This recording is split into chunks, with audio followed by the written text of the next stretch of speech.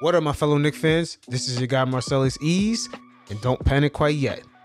Now, I know it's been a tough season, but we're gonna try a little something different today. We're gonna call up Leon Rose to the People's Court. Yeah, he's been MIA all season. Yup. Yes, sir. Step up to the court. And you see that giant rat right there with the Daily News hat eating that big ass pizza? Yeah, get him out of here. Marc Berman, you need to step out of here. This is strictly for my Neeks.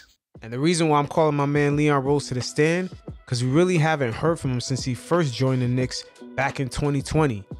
Matter of fact, June 24th, 2020 to be exact, is when we last heard from him, and he spoke to only MSG Networks. Now, I don't blame James Dolan for actually having his own media company and protecting his own narrative, but he's definitely protecting Leon Rose a bit too much given the fact that he joined the Knicks as president with almost a clean slate. He had plenty of cap room, he had his own draft pick to select, and his own head coach that he could select. Not too many NBA presidents join teams in which they have that much of a clean canvas to start painting on. So a lot of the decisions that we see that added up to this year, they're gonna have to be answered for. Now, in my live chat show, 8th Avenue Conversations, in which any one of you guys could join in and chime in and give your two cents on what's going on with the squad. And for more info on that, definitely check out the description below. But in the last live chat, my man Dominique had emphasized on something that I stressed out in the beginning of the chat. And that was where is Leon Rose to answer some of the questions on some of the moves that were made last summer. And my man Dom further put things into proper perspective as he talked about Leon Rose's positioning, the fact that he was able to draft Obi and he selected a coach like Thibs, knowing that maybe a player like Obi might not be a good fit. Also, the signing of Evan and Kemba Walker, and the clear miscommunication what's going on with Cam Reddish. As we're beginning to hear some of the rumblings of the frustrations, particularly coming from Worldwide Wes, as he's pointing towards Thibs. And without further ado, I'm gonna run that clip of Dominique speaking in the live chat and you guys just keep in mind that he's making reference to a lot of the mindset of what was Leon Rose thinking of when he made certain moves. So just keep in mind what was the Knicks' position at the time, especially selecting Obi Toppin in the draft, acquiring Evan Fournier and Kemba Walker, the guys that they passed up, and also sacrificing that first round pick for Cam Reddish. What was the thought process? This is where there's a huge gap between us, the fan base, and just understanding what the Knicks front office is doing because right now they're sort of under the protection of the MSG networks. Leon Rose only speaks to the Knicks media with alley hoop questions. So he already knows what's coming and he just sort of gets this soft landing. And this is why there's a huge disconnect. And he's going to have to eventually speak to people other than beat writers every once in a while. He's going to have to open questions up to other media outlets like Bleacher Report, etc. And for those of you who don't believe that Leon Rose is being protected from speaking to the media, don't forget that surprise presser that Steve Mills had back in 2019 with Scott Perry when the Knicks were just messing up only a few games in. I believe that was around November of 2019. Dolan had them answering questions for a season in which they had no expectations. Even the prior season was a losing season. So you can only imagine this year when the Knicks had expectations coming off of the highs of last year. So keep that in mind. So you guys check out this quick clip. And once again, all you fellas are welcome to join the live chat. Just sign up for the email list in the description below. And without further ado, Go ahead, Dominic. First of all, good evening, guys. I, I, I hope I hope nobody's gonna talk over me because I'm gonna be kind of quick because I've been listening to you guys. And here, here's where you got to rewind the tape. Now, if you want to ride that horse of switching coaches every year, we did that. We did the five coaches in six years. But again, let's rewind the tape just a bit, guys. Who hired Leon Rose? Dolan. Who hired Tom Thibodeau? Leon Rose. So you brought Tom Thibodeau into the Knick organization knowing what kind of coach he was. And guess what? Call it smoke and mirrors, call it whatever you want last year. The Knicks finally got in the playoffs. The Knicks finally had a winning season in eight years. The Knicks finally didn't lose 65 games in a season. But now the front office goes out and does this and that. And we all know, those that follow it, I'm not going to debate with y'all, that Tom Thibodeau wanted to keep Bullock. But let's just rewind that tape too. Because if you look, unless you just watch the games and you don't look at numbers, there's only one player on the Knicks shooting better from three and field goal in the season this year. And that happens to be Fournier. Everybody else has slipped. RJ Barrett, Julius Randle. Everybody on the Knicks has regressed. And you want to talk about the coach. Come on, guys. We all have jobs.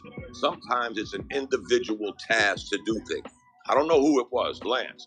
Let's not say Obi Toppin is this and that. Let's just say Obi Toppin was a bad pick. Because some of y'all that have been Knick fans for over 10 minutes, the elephant in the room has been a point guard. And we overlooked a point guard to get a power forward, and we had a power forward. Who did that? Leon Rose, Scott Perry, Worldwide Wes, who hasn't said jack shit all year about what y'all did, what direction we're going in, but then you want to throw the coach under the bus. That's really highly professional, gentlemen. But you haven't heard him say, you know what? This is direction we're going in, uh, Lance. This is direction we're going in, Rels. We may have made some mistakes along the way. No, they didn't do that. They went and got two point guards. No knock against none of them, gentlemen. But we all know who follow basketball, Kemba Walker and Derrick Rose in the last three, four years hasn't gave you more than 50 games. So now you got two off injured point guards. You passed on a point guard in the draft. And now all of a sudden we're going to wave a magic wand and say it's just the coach's fault. Well, again, if that's the horse you want to ride, God bless you guys. I'm not going to debate that. That's your decision. That's what you're riding with. I'm happy for you. But we started, we really got to look at these clowns we put in positions to make the moves. You did this, guys. Tom Thibodeau didn't do this. I don't care how we debate it. The people up top are the ones that go to the owner. We all know this. They go to the owner. Because I'll tell you this, guys, you can't tell me that you wanted to change things this quickly when Tom Thibodeau came to this organization and did what Tom Thibodeau does. Don't give me the story about he wears players out. We got guys that are 21, 22 years old playing less minutes than LeBron James. Yeah, yeah. the stuff you saying, bro, is crazy. Minutes, play the kids, play this. And, and I'm going to give y'all one more thing, guys. When you talk about this front office and you talk about playing the kids, you draft Rels, you draft CA, but then you go out and sign people to block their progression. You go get a Kemba Walker. You go get a Fournier. So what was y'all thinking when you did this, guys? I mean, I'm again, I am not debating. I'm just saying my point, and maybe somebody could think about that because it's been this way forever with the Knicks. Again, if you want to do the five coaches in six years, God bless you. You know, I'm still going to be a fan. But we can't keep doing the wheels on the bus go round and round. You finally got some stability. The Knicks lost 65 games twice before Tom Thibodeau got there. Yep. He gets there, they make the playoffs. Now all of a sudden, we ain't looking at none of the players who regress. Check the numbers, guys. Everybody's numbers are down. It took RJ Barrett scoring 46 points, 36 points to get his average up over last year by 0.8. But his shooting is still down. His free throw shooting is still down. The coach can't do that, gentlemen. We all know this. So again, that seems to be the going thing. Let's get rid of the coach. Again, if, if that's going to make everybody happy, but you still got the same players. You still got the same president. You still got the same GM. So you go on and get rid of the coach because now that coach has to work for these guys. Until they prove themselves, guys, then I'll sit back and say, you know what? They did the best they could. But right now, you can't tell me that. You can't tell me we went from a playoff team to a team that can't get out their own way. And it's simply the coach's fault. It ain't the mixture of players we got, it's simply the coach's fault. Again, guys, I, I appreciate the time. And uh hang in there, fellas. It Yo, can't get well no said. worse than what we saw. So, well, no, I, I actually kind of, I, I got, I, got to touch on a few things because I actually, I actually agree on. Yeah, I agree with saying. him too. Hundred percent. Uh, uh, uh, because yes, they did, they did pass on the point guards in the draft, and even in free agency, they drug their feet on that. All the point guards ended up getting sucked up really fast and then only thing left was to get a Kemba Walker that was being bought out by OKC, and the the draft choices are the draft choices. I, I don't think uh, what I think what they were going for. I mean, the Fournier uh, signing does make sense. Uh, yeah, they wanted more. They wanted more shooting, and Reggie Bullock was not so a Fournier over DeRozan. It wasn't over DeRozan. It was Fournier over Bullock. No, no, no, no, no. I'm talking about free agency. When DeMar DeRozan said his his three choices: New they York, LA, right. Uh, Chicago, and we didn't even give the motherfucker an interview. We went straight to go and, and sign Fournier. They, they re- on, and I'll bro. tell you why. They, I'll tell you why they Come did on, that. I'll tell you why they did that. I'm not saying. I'm not I'm not saying that it's a smart move. I'm just saying I can tell you why they did that. Is because they thought that putting him next to RJ would again again. I don't you don't you don't have to explain it. A yes is a yes or no answer. Was it dumb or was it not? Is he better or is he not? It's simple answer. There's no explanation. No, yeah. he's not better. It was a dumb decision. And for my man that's in for talking about um the front office and everything, the front office take the brunt too. But let's not act like we didn't hire Tom Thibodeau and give him power. You gave him power to coach the team. No, no, no. He and he proved what. Let me let me just say something, Nick. Since, yeah, you bro. brought it up and you you have a tendency to bring yeah. stuff up, yeah. you want to talk over somebody. But again, bro. You you brought him in here. He did his job. You mm-hmm. didn't do your job. Now, if you want to rewind the wheels and go by all the rumors, you know, after the cart is off the horse, and say, mm-hmm. "Oh, we didn't get the roses," well, then again, Nick, Nick, and whatever your name is, sir, I don't want to call yeah, you yeah, yeah, Nick King. But you're still going back to who didn't do this. Mm-hmm. Tom Thibodeau didn't have the power to go I'm, talk to free agents it's still Leon Rose and the rest of these guys calling these shots. CA made a great point. We, we can't rewind the clock, guys. We, we get it. We're where we're at right now. Mm-hmm. But if you do want to rewind the clock, Nick, then you got to rewind the clock from the top. Yeah, but I'm not asking to rewind the clock, bro. You I'm are. You brought up DeRozan. No, that, but that was because because he was talking about Fournier. Uh, is it just that's that's the just dead flat? Yes, I was I was I, I didn't no I didn't yeah, never say but I'm but no, I brought up For, I, no I, I, brought up Fournier to, to say that he was it, it wasn't a Fournier over DeRozan. You made it seem like they picked Fournier over DeRozan, and that wasn't the case. They didn't go with DeRozan because they didn't want to put him next to RJ. They yeah, thought analytics. that would yeah they they thought that it would analytics. make RJ play worse. So they and they wanted more three point shooting and DeMar DeRozan. This is all things that I really don't want to hear, bro, because I'm a baller. All you talking about is is dumb analytics, and I know those answers. I agree with you for all of that. I just told the people that already. That's why they got Fournier. I know. I mean, I know ball is ball, but just like you said, it's politics, and those are the politics. The analytics Thank are the politics. Right. Right. And and that, and, that, and that's right. the that's the, what they're basing their decisions off of. Mm-hmm. They wanted more three point shooting. DeMar DeRozan isn't a reputation three point shooter, right. so they went with Fournier, but they, over now, can over I ask Bullock. You a question? Can I ask you a question?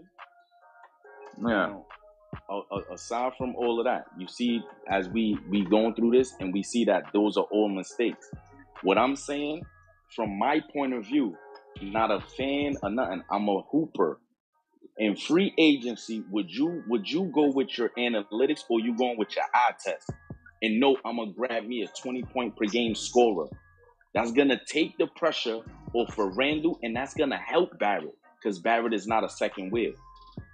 I'm a baller. This is this is regular stuff. You know they made the mistake. I'm just asking you, in the pool of players, you're gonna pick Fournier to go beside any of your players. I don't care who they are and you got DeRozan sitting there. But it's not about who we it's, would it's, pick, it's, though. I know, but this is what it is about. We we in the chat is about what we would do because they already fucked up. We playing Monday morning quarterback, really. Like, bro, all I'm saying is we know they messed up. I'm agreeing with you. They fucked that pack up. Now I'm asking you. We got a pool of players because they messed it up. Now you got a chance to write it. We got a, we got them two players. Who you choosing to, to pick? Well, again, we in the park. We in we in the park. I, I, I play ball. We in the park. We in a tournament. I want to play that could do more than. You know what I'm saying? Who you picking? Nick, Nick, I don't think nobody. Man, I don't think nobody. It, it, nobody's disagreeing with you at, right, at that point either.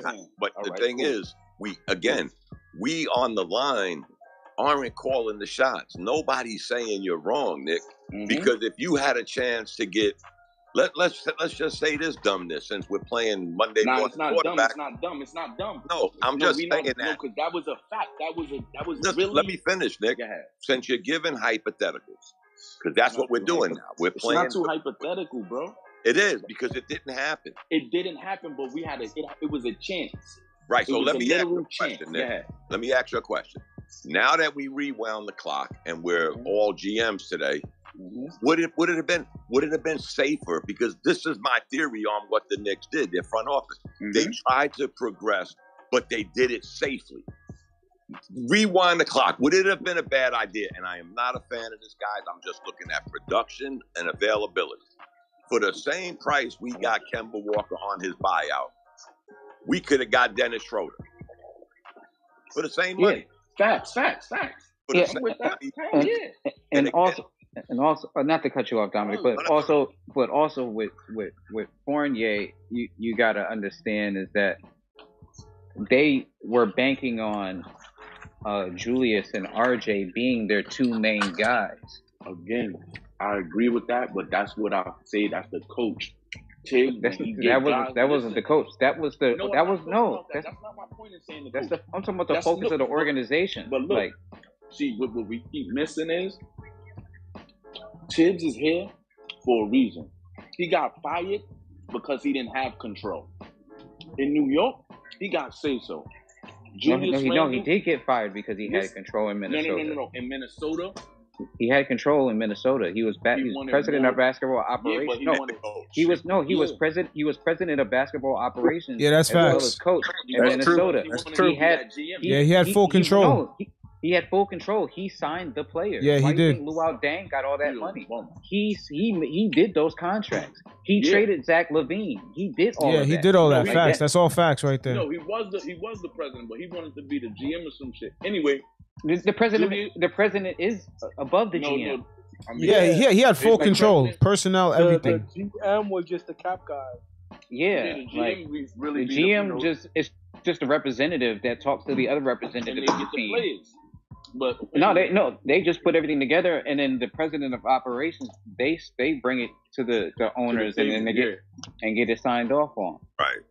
But Thibs had that position. He had that power, and he got fired because he had that power, and he failed at that. Anyway, yeah, failed miserably. Put that on top of that. He failed miserably at that. Let me say something. What was what was D Rose's advice to the young guys when, when they asked him like, "How do you deal with Tom Thibodeau?" Don't look at the sideline. Don't don't look at the sideline. Don't pay him no mind. What that say about the coach? I'm not saying it's the coach's fault. I'm saying he, he lacks complete offensive identity. Maybe he'll get you, motivate you on defense, but do you He's see the sets that play? That's what play national? If you watch other teams play and then you watch it play, that ball is stuck. Like it's so much iso ball. There's, there's no movement. There's no cut. bro. They're playing outside in. They're going to they're trying to get thank three you. points. Thank you. Thank you, smart man. Thank you. That's the first then, person that said something about basketball. play ball. You play ball Thank inside you. out. Inside Everybody out. knows Thank that. No, but we but we've said that earlier in here though. Oh, yeah, we said, we, we, we've said that earlier. We've said we said Thibs' offensive sets are terrible. We said terrible. that earlier in here already. And what a good coach would do. I, well, I'm not. I'm, I'm, okay, I'm not. Surround himself with people. Nobody here is absolving Thibs of his lack of adjustments, of his bad lineups. No, we didn't. No, we didn't. No, we did. We just said the blame isn't all on him. That's what we were saying. Right. Yeah. No, we're not. We, no, wait, wait a minute. Wait, let me finish. Nah, nah, nah. Let me, nah, let me. Nah, nah. I got, I got to finish. I got to finish. Go. Nah, get it off. Because, because it, it, we're not saying we're Thibs is not absolved of his bad rotation, of his running his starters too too many minutes. He's not absolved of his coaching blunders, his bad rotation, his bad starting lineups. He's not absolved of any of that. All of that stuff is his fault, and that does transpire on what happens on the actual court. But the getting of the actual players that he got were outside of his control. That was he can have he could have he could have say and say, hey, I, I I would like this guy, I would like this guy, but at the end of the day, Scott Perry, Leon Rose, Worldwide Wes, those are the guys that are make that are that have the last final say on who gets signed and who doesn't and for how much. So it's part on their part of the blame does fall on the front office as well as Thibs' yeah. coaching um, blunders.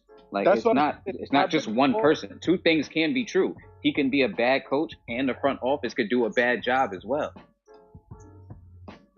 Our big fault was that we had a functional point guard in D Rose, right? And then what happened? D Rose stopped. D Rose stopped, and we had no one to replace him. But we got Deuce McBride on the bench. You telling me he can't do a better job than Burks? Leon Rose gave you gave you a functional point guard. You're not even seeing what you have in him. That's what I'm trying to say too. So it's like, yeah, yeah, there could be more point guard talent. D Rose not being there took a big hit on the team, but I I, I don't want to yeah. say it's it's like either more Leon Rose's fault or Tom Thibodeau's fault. Because well, Rail, you up next? Go ahead but both share share blame, and we're seeing the the effect. But like D Rose not being there, that's just period. That's number one. Uh, I'm done. Go ahead, Rail. What's good, y'all? How y'all doing? Um, so so like I I pretty much all you guys are right. You really just sit back and listen to all you guys' point of views. Like I understand what Nick Steen was talking about in the sense of you gotta play situational basketball. Even if you don't, like, like, I've been saying in other spaces, even if you don't have a point guard, that's been the the whole thing for the whole year. So why these people, why kids not doing like motion basketball? Just like I brought up last night, you play like a, even on Mike D'Antoni system, right? When Steve Nash went down, he said, okay, I want everybody on the starting five to at least get one or two assists. If you do, that's one or two assists. That's ten assists right there for the quarter or even for the half pass the ball around. I see when the Knicks, when Randle's sitting on the bench, I'm seeing these guys playing motion basketball. They're moving that ball around. Everybody's getting to the good man. If you if you have an open shot, but you pass it to the other guy who has a better shot, going to win. Say you shoot shit ton of three fucking points, you're going straight to the hole for a high percentage shot and hopefully you get fouled right? And then I think that people talk about Thibs do got, but I blame Thibs majority of the time because yes, the front office is to get the players who they're going to get. But at the end of the day, how much is to be the excuse? They didn't trade nobody except for one person. They sold a bag of peanuts to, to get a fucking an appetizer that plays half the time, right? So you know what you got. Only one person in the rotation got changed. So you know what you got at the beginning of the season. So at the end of the day, to me, the blame on Thibs leaves seventy percent. Because I'm looking at someone like the Miami Heat. I'm looking at others these, these um Cavaliers, these good defensive teams, right? You got to coach your team. You're gonna get what's in front of you. You got to coach it because at the end of the day, you're showing everybody you're a shitty coach because you're not coaching up your team, right? So if say Randle's playing bad or Burke's playing bad, sit their asses down. Because if you're gonna be feared of getting fired, well, your team blew another fucking 15 point lead. So you might as well bench these motherfuckers and play some of these young guys, right? So that way you know what you're gonna get. If they're gonna be here for the long run, or they're only gonna be here for, um, I mean, excuse me, either they're gonna be here for the long run, or they could be good trade bait. And this is this this this is the shit that I, it, it mind boggles me. Like we blew this lead, okay. So you might as well play more of the young guys. Then fuck it we, already knew we were going to fucking lose this game, right? I'm mad I paid fucking fifty dollars on the goddamn parlay. you know what I'm saying? But this shit, this I, I just feel like all y'all right. You know, it's it's a shame that Leon Rose don't come and talk just to say what's going to be the direction. I'm not saying I want to hear from Leon Rose all the time, but it's pretty sad that we got Jeanie Buss go on the podium and take questions, but you can't find Leon Rose. But with the whole Thibs point, I, I, um, I agree with Nick in the sense of he has to take 70% of the blame because you know why? One guy, one guy was traded. You can't tell me you can't coach up this team. Nah, I don't want. I don't want to hear he's a defensive coach. So what? Okay, you got you got to do your job. He don't even listen to his own assistants. That's another bad thing. That's just my point of view. And can I can I just respond to Rels because I think me and Rels had this conversation before. You make a great, you make a great point, Rels. When the second unit comes in, they do this. But when the starters are in, they do this. So is exactly. it is it one group is listening and one group ain't? One group can't get from their brain to their ears to the court in right. a timely fashion. I don't know. We had this conversation, bro. That right. if if these guys are doing it, who's coaching them? When when the reserves come in, do we switch coaches? When the starters come back in, do we put Thibodeau back in? Again, I always say this, guys. I always say this. Sooner or later, you got to look at an individual task. We all been there. We've all right. got individual tasks at work. For those of y'all at work, you have a job to do. Somebody tells you what to do, unless you're in charge. Don't get me wrong. But you have a job to do. You stay in your lane. You do your job. And it's ironic, Rels, Rels brings this up again, and I always go back to, well, damn, if these guys are doing it and these guys ain't doing it, we really have a problem. We do. And again, no, when, def- when, you look at all the numbers mm-hmm. and you look at every individual on the Knicks, except I hate to say it, Fournier. I'm not a fan of him. I'm not a fan of the signing. Oh, his shooting numbers are up. So. He's the only one on the team yeah, that is shooting better than he did last year. I forgot what it was. He's like, like he's, he's like in line with it. He's in line with his averages. Like right, we're, we're, he is what he is. Now again, if you thought when we got Fournier we were getting Jerry West, well, that's that's your fault. Nah, oh, but, nah, but, we, you know nah, what? Nah, nah. Hold on, hold on, hold on, hold on, hold on, hold on, Sid, real quick. So, like, Dom, what's up, my brother? So yeah, so I, I agree with you to a certain extent. Like, my thing is like, I think when um Mix King, and correct me if I'm wrong, was saying you guys signed. You can't got fucking DeRozan. DeRozan said it out his own mouth. I saw him on TV uh-huh. say, I was going. I wanted to sign one in New York, but they went to sign Fournier Kemba. Like, come on, you signed two bench players, but you won't sign a starter. Now, well, they, he's, he's going to he's doing like a whole offensive explosion, playing MVPs. I think he has something to prove. He went to the doghouse in um, San Antonio, where Pop taught him the right way. Forget the record. Forget the record. Pop showed him how to be a championship on, player. Sure. Pop showed him how to be a championship player, right? Why would uh, yeah, sign DeRozan? The reason why we the, the reason. I told you why we couldn't sign DeRozan because the franchise was banking on Julius and RJ being those two main guys. So they didn't want to get anybody that was going to outshine those two guys. They but just wanted was, to add. Uh, when they wanted well, no, I know, but they well, what they wanted was more consistent three point shooting. So what? What that's what Fournier brought or was supposed to bring. He was supposed to be a better version offensively than um, uh, than Reggie Bullock because you know what what happened with Reggie Bullock last year. He'd be good for three, you know, two quarters, and then he disappeared for the rest of the game.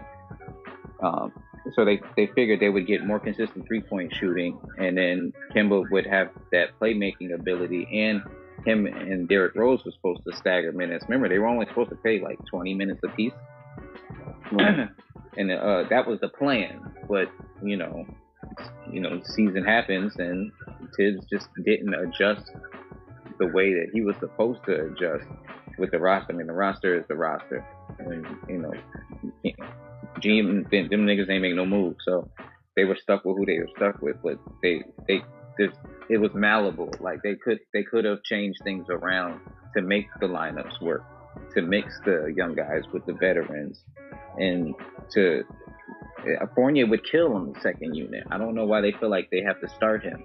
I don't know why they feel like they have to start Burks. They could start Quickley at point guard, but he doesn't have to play 38 minutes.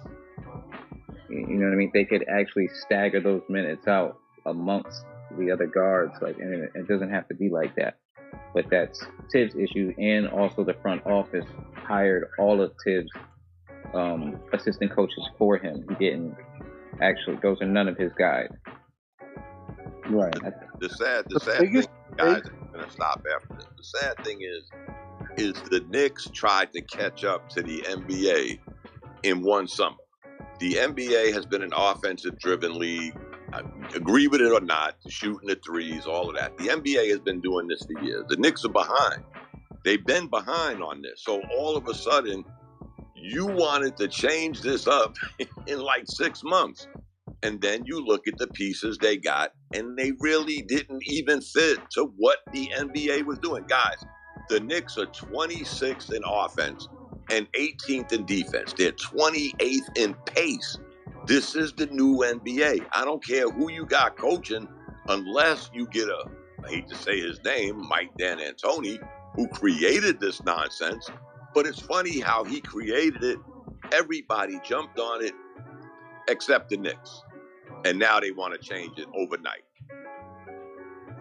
When they had Dan D'Antoni, they wouldn't run it. They didn't have the point guard to run it. Right. Yeah, they didn't. Because they traded they, they, had we had like Alexei Shved or whatever his fucking name was. And then Melo yeah. stopped it. That's most importantly. Melo came through. He's a ball stopper. He's gonna stop that type of uh, free flowing offense. So they couldn't do it. That was a clash between yeah. Melo and uh and yeah. um D'Antoni. That was the main issue. Yeah. And that and that began our five coaches in six years.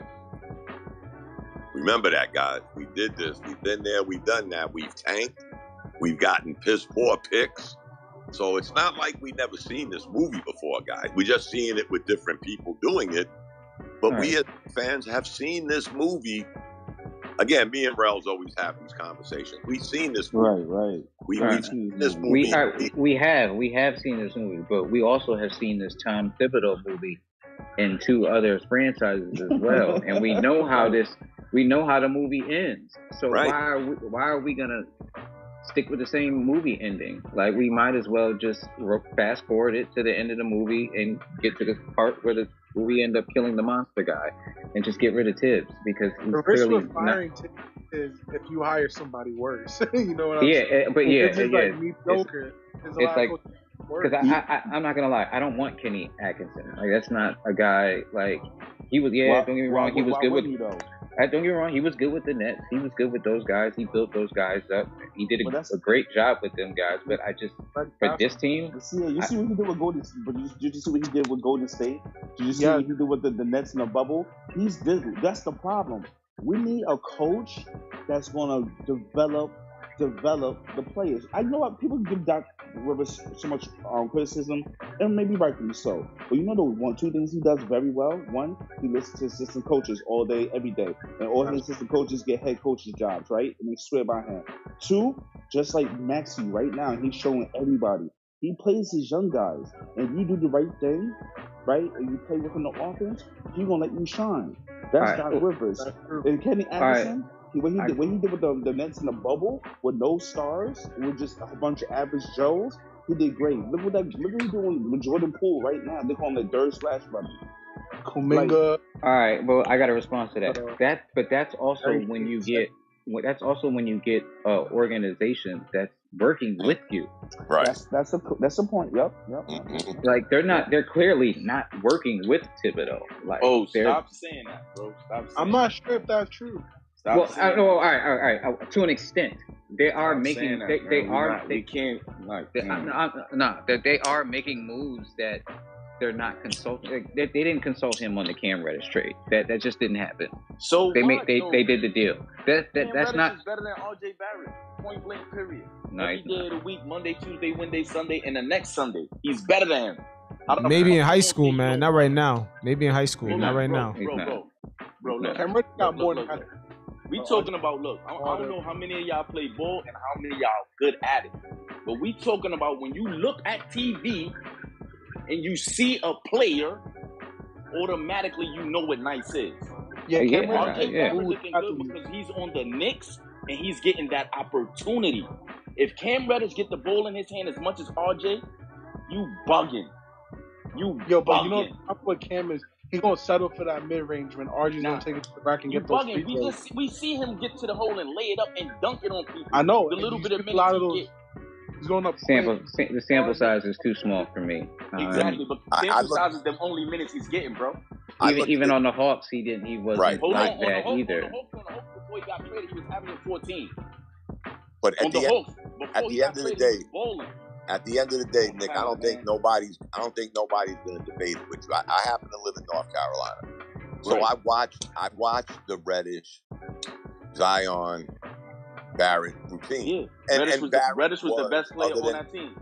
Right. Other than other than Zion, Barrett was that guy. But I always look at where Reddish was the best player. When we watched college basketball that year, every announcer was saying he was the best player on Duke. Now, yeah, best college player. Right. Again, best not, college player. right. I'm not. I'm not debating it with you. The only thing in the NBA. Right. The only thing I'm trying to say.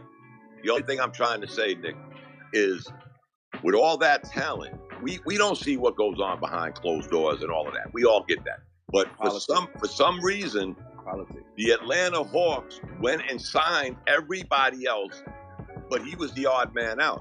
They can't again, afford him though. They, I'm not saying everybody knew that. I'm just saying they didn't get minutes like that. For, for, for, but for some reason, with him getting minutes, and of course he got hurt, so we got to take that out of the equation. last year he was hurt. I'm just saying, the Atlanta Hawks now, maybe they have a bizarre front office like us, but they overlooked him and went and got players that basically mirrored him. And now you rewind the tape what the Knicks are doing. They look, out and see, look, always that mirror the players you have. Uh-huh. So how does Every, everybody get minutes? I must look, look. I hear all of that, right? Bottom line, it sound like to me what you saying is like because they gave they gave up on him or they got rid of him or what I don't know. But all I'm saying is, with opportunity comes success for anybody in this world. Anybody. With opportunity comes success, bro. He's better than him. Point and what, blank. What we saying Point is blank. If he get the ball, look, I'm gonna show you this. You watched the game tonight, right? Like I kept pointing out what RJ was doing until he finally started passing the ball to Mitch. Every time he got the ball, he wasn't passing the ball. He can't get by nobody if he's not trying to use the brute strength and use the left hand layup. While on the other hand, when we see Cam get the ball on a pick, he split the split the pick like nice bowlers do. one play. Young. No, no, no. It's one play. I'm, I'm, it was, it was one play. Listen, I know what play you're talking about, about, but it's one play. How many times you seen RJ Barrett split the pick and roll? Zero plays in three years. Facts. Thank you. This is what I'm talking about. A Dame Lillard, a Chris Paul, a Ja Morant. These are nice players that will split. You got moves. You could. I'm pretty sure if I Google you, it, I could find it. Listen, we don't need time off the rip. This is how many times. Look, boom, off the rip. I watch my team forever. RJ is good. He's a good player. He's a good player. He's not. He's not. He's. He don't have the talent as this brother has. Period. Period. You may Period. be right, Nick, because I'm period. I'm not I'm not throwing nobody under the bus.